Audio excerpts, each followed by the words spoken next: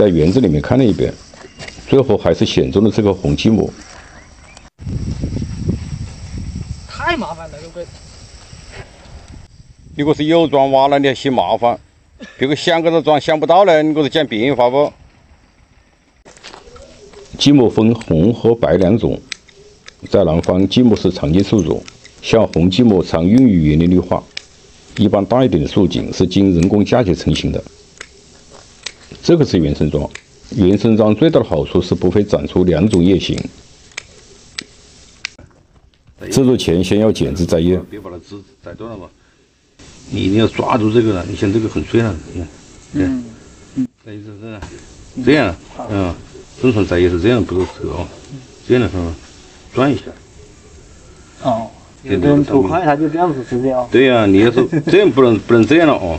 哦，不能这样。你朝这样子就，这个压点就没有了。哦。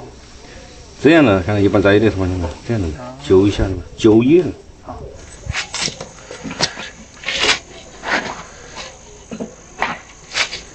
树桩脱衣之后，才能看出它的身材。盆景造型操作前，要先观察和发现桩材的特点，更要挑出这个桩材的毛病。制作如此，买账亦然。我的去，这个属于整形部分的。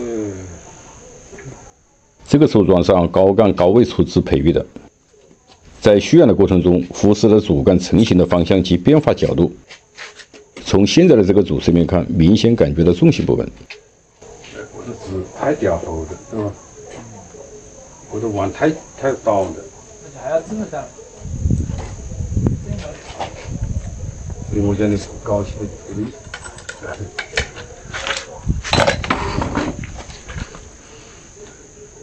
起来，对。这个车，来了不？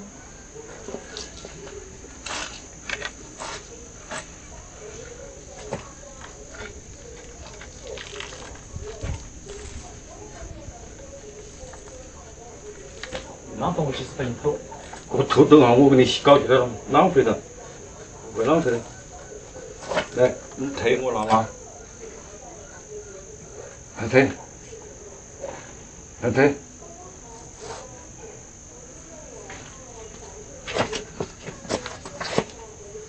瓢子与主干的夹角过小，把它抬起来，是重心操作一。这个是不能，这个是掉的太低了。嗯咯。啊。压紧了，不知你先试下顶下，顶的顶的顶修。对，好，抬起来，好，把顶的篱笆，顶的篱笆了，顶的，你先把顶起我看。不对，让我手抓着。不是正心在这个，正心顶着对不对？我的条子拉过来，正心拉过来。哦。从树桩的侧面看，从下往上，这个树桩的毛病更加明显。主干朝一个方向发展，缺少前后变化，使树桩重心朝一面偏移。再从这个方向做一次调整，改变主干的倾斜角度。但调整后会使根盘出现前高后低，像这种情况只能在以后的培育中进行修整。什么是牵一发而动全身？像这个桩材的培育，在放养的过程中没有及时调整主干的成型角度及方向。等基本蓄养到位，才发现养出了一个歪脖子树桩，重心不稳，要把它改过来。从主干到出枝，从头到脚都要动。调整树桩的重心，不能只从主干想办法。还可以哦。回头仔细看啊，回头仔细收一下，站着晓得不？调整漂子的角度，缩减右边的脱枝，也就是我们在树势形成中常用到的增让调整。像这个树桩，左正更强，右让更多，就会形成新的增让平衡，从而使重心向左移。让的方向的值都要进行缩减。啊，金哥，不要再把这枝，不不需要工作枝噻。地面上是好的，我再不挖出来，搞到树那头，过头的。这个方向的枝要控制它的生长，生长过快，重心又会发生变化。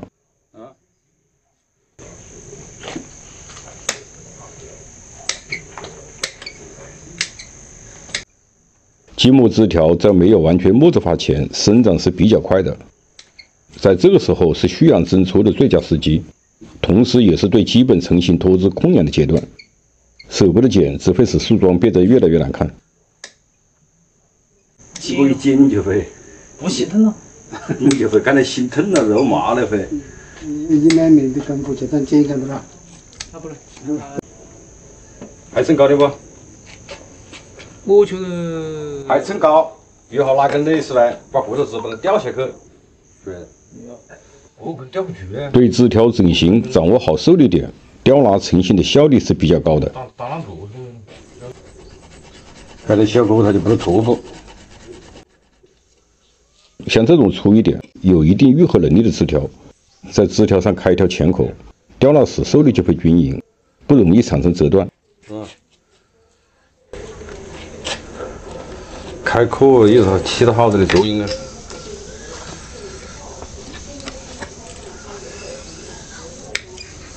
嗯，把这个拿过去啊。手续。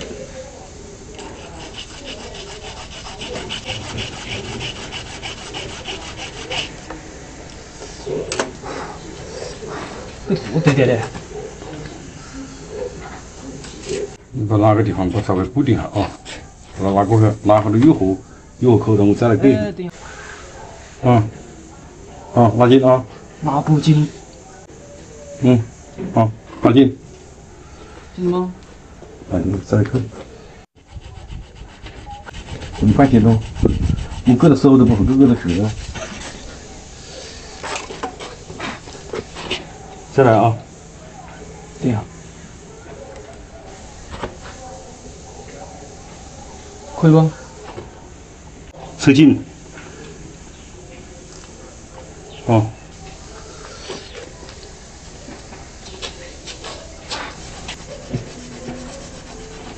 哦，投了。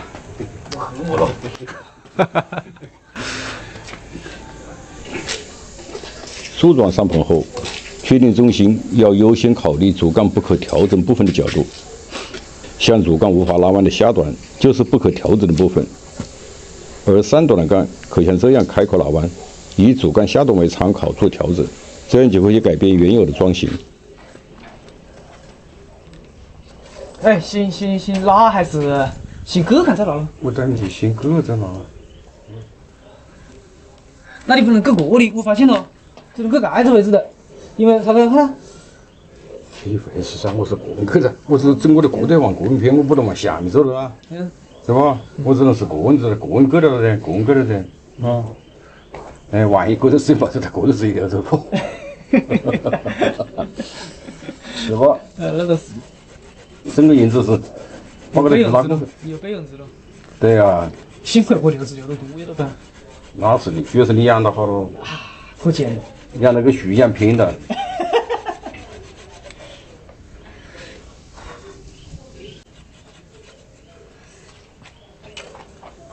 我拿到啊！我我我手撇在这里，我我伸了。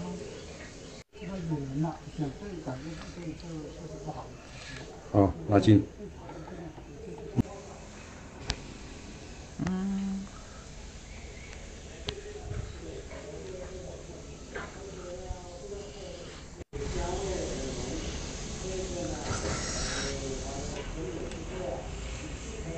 好，OK，OK 呗。嗯，你估计还有变化了吧？从干上去，你就整个院整个院子也看得去，顺着这个顺着这个主干走不？是，是吧？几个刀？啊，这。对啊，好，然后过里再取个顶，不就整了吗？主干是盆景造型立意的基础，主干确定，出枝的取舍及调整才有依据，修剪才有明确的目标。好好好好。够了不？嗯，没有。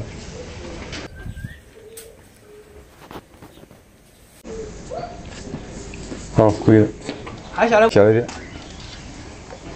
选择在这个时候加工，适应今年长出的枝条半木质化，韧性比较强，可以减少加工时的损伤。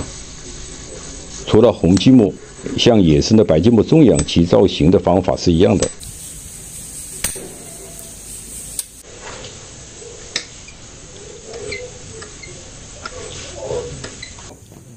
积木来修剪，萌发能力比较强。积木同大多数南方树种一样，喜欢湿润、阳光充足的环境和微酸性的土壤。红积木叶红，开出的花也是红的。相比之下，野生枯干的白积木经自然雕琢更让人心动，开出整束的小白花，清香四溢，让人回味无穷。我是山丘龙茶，感谢您的收看，评论区见。